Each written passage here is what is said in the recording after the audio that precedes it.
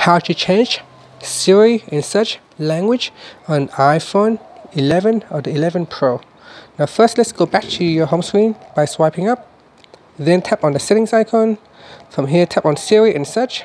Then tap on language. And then from the list you could choose a different language that you want to use. So go down the list here and select a language that you want to use. So let's tap on change language. And then that's it. So hi Siri. Hi Siri. So you can see when I change language I say hi Siri. It doesn't work anymore. So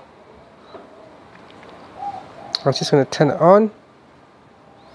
So that somehow that he gets switched off. Hi Siri. Hi Siri hi Siri. So so you need to give, um, speak the right language otherwise it won't work. So when we switch um, language uh, listen for Siri also gets uh, switched off and then we have to um, train Siri with our new voice again. And that's it. So I'm just going to change it back to um, English. And then tap on back. And then so that one gets turned on Hi Siri. Hi Siri, send a message. Hi Siri, how's the weather today?